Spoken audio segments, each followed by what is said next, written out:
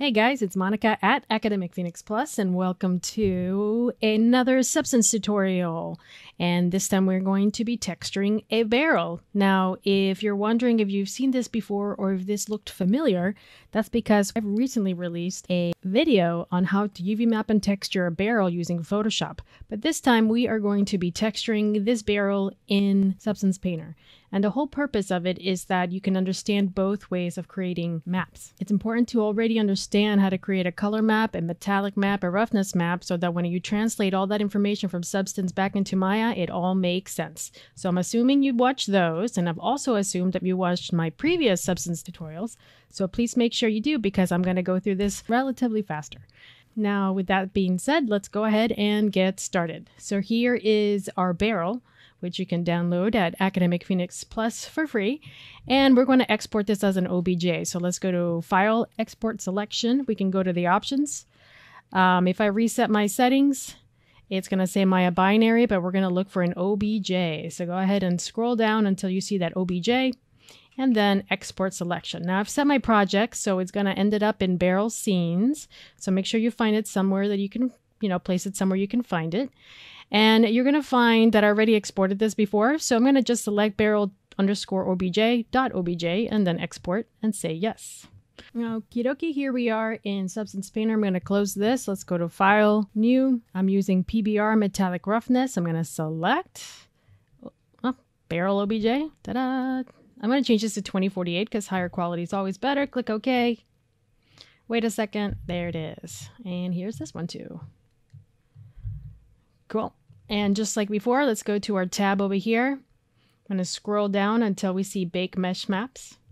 I'm going to make turn off ID, go to my ambient occlusion and ignore backface always. Go back up to common and change my map size to 2048. And let's go ahead and bake. It's going to do its magic. Normal maps, ambient occlusion, curvature maps. Well, that's interesting. Position, a bunch of other stuff. And once it's done, click OK. Cool. We're set to go. All right, so we need wood. Down here at the bottom left, I'm going to go to all and just type in W-O-O-D for wood. Then we have a couple of different types. I'm going to choose wood chip. Let it do its thing and you can see what it looks like. So you can you can see that it's got some really nice details already. It's already kind of dirty for me, so that's kind of nice. Um, it already has a lot of really nice detail automatically. Now, the only issue with this is that everybody who uses Substance will recognize this material, so we can't leave it like this, but at least it gives us a really nice, strong base. We could also use wood chest stylized, which is also very interesting, but you'll notice that the position of the wood grains going the wrong way. So I need to fix that. But otherwise, it looks really nice. So I'm going to go in here I'm going to get rid of the other one. And um, I like this one better. So I'm going to choose this one, open up the folder, and then I can mess around with the attributes. So for example, if I look at the wood fiber here, I might be able to do a rotation and see if that does anything. Now, if it doesn't, I'll just undo and then try. There's grunge, which I don't think I need. I mean, I do need it. Then I have this thing called sharpen, so same story, I can look at the attributes and see if there's something I can change so that the grain goes a different direction. We have fibers again. So we can go ahead and try to rotate it, and there it is. That's the fiber that I was looking for. So I'm going to change it to 180, and you just kind of mess around until you find something that you like. Okay, so far so good. Okay, now we need is our stripes. Now our, our stripes are basically a black texture. So I'm going to grab layer one and just drag it to the top. And what I can do is grab my paintbrush and you'll notice that I'm using a very soft brush. If I scroll down, I want to make sure that I'm going to turn off my roughness, my metallicness. What I really need is just the color and the height. So right now my color is white, so if I paint on this, it's going to look white. But what I really want is a really dark black. So then I'll get this effect. And again, I can draw on this as well. Now, another thing we need is our height, right? So we want to go ahead and decrease the height and see what type of effect it has. And you can see that it's starting to almost dig in. I want it to, this is supposed to be the lines of the wood. So I'm going to make sure that it's pretty strong, like a negative one, and you can see the effect there. So that's good. Now this is a soft brush isn't really going to help me, so I'm going to scroll back up. And I'm going to click on this, and there's a lot of shapes that we can choose. You are more than welcome to scroll through here and find that magic brush. Um, I'm going to be looking for a square. So I can create squares. You. This is really big, so using the brackets on your keyboard, you can just go ahead and make this brush smaller. Still feels kind of large. I just want to strip. Okay, that looks pretty good. So I'm going to paint them here because I need a straight line. Now I could try painting through here, but it's going to be a little bit of a challenge. So I'm just going to hold down, if you click once, hold down shift, you'll notice that I can make a straight line. And if I hold down Control Shift, it'll snap it to 45 degrees. It basically uh, will snap it to a degree, and what we want is a straight line. So I'm going to click on that, and there you go. I'm going to undo that, make sure I'm at the bottom. Click, Control Shift, drag, bink. There we go. Let's take a look. Where is it? There it is. Nice.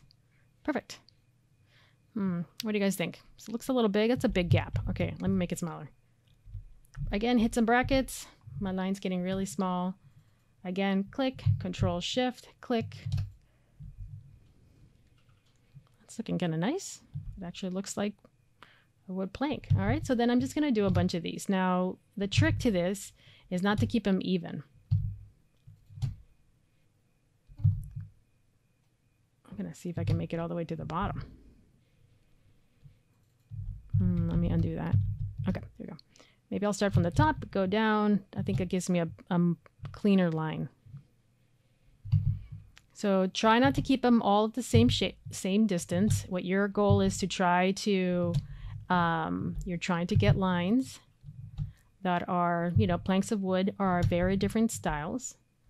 They're different sizes. So again, I'm just clicking Control Shift and then drag and click. I'm a little worried that some of these need a little bit more reinforcement, so I might actually go back in and define that. Kind of eyeballing it here.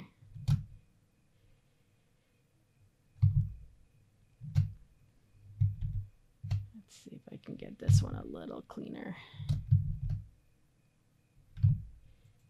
It's getting better. Okay, moving on.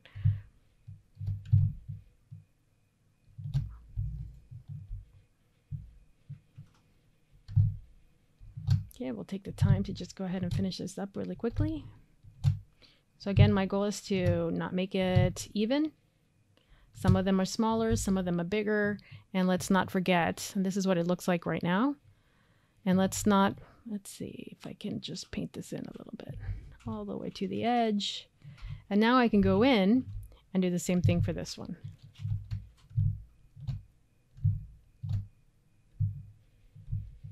Whoops.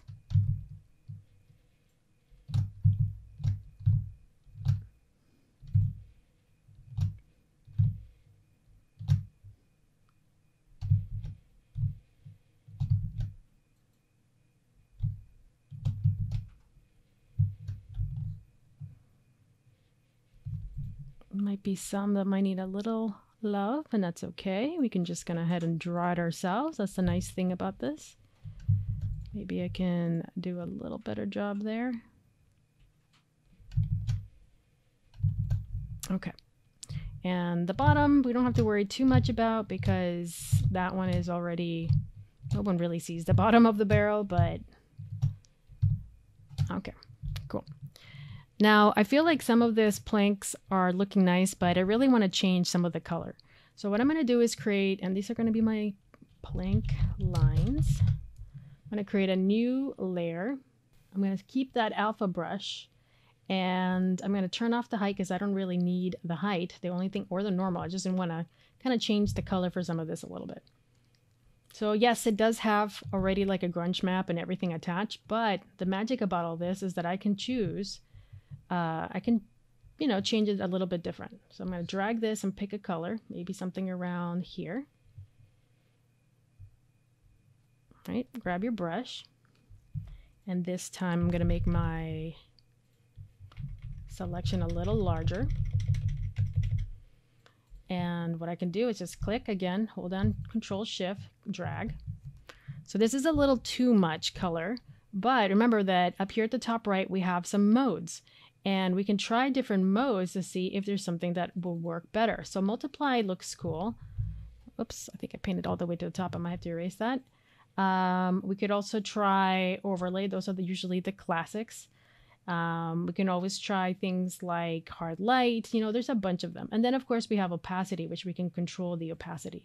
So that what that's going to help is change the plank, the wood plank. So instead of keeping them all in the same color um, evenly, you can see there's a, gr a gradient. Now I have the ability to change the plank color um, so that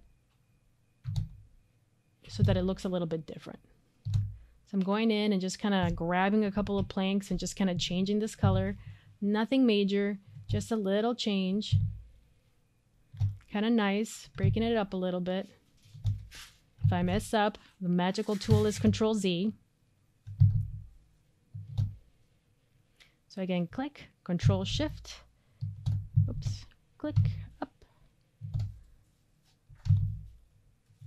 There we go. Let's choose another small one here.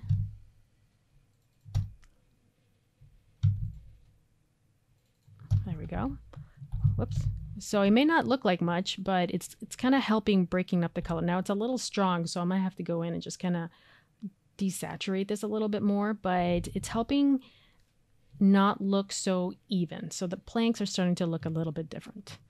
Okay, I'm really happy with the results. Let's go ahead and just call this color added wood. Very simple. I'm not that complicated. Um, all right, we have finished the wood for our barrel and the next step is going to be metal. So in the next tutorial, we're going to cover how to create metal with rust on it for our barrel. All right, thank you so much for watching. I really appreciate it. Thank you for taking the time being with me. I always appreciate your support. If you could just go ahead and subscribe and like my video, that would be amazing. And please share if you feel that this would be helpful for somebody that you know then please share this with them so that it would be helpful for them as well. Also, take a look at academicphoenixplus.com where you can download this barrel along with so many other 3D models and ebooks and tutorials. So take a look at academicphoenixplus.com, a free resource for you. And again, thank you so much for watching, and I will see you next time.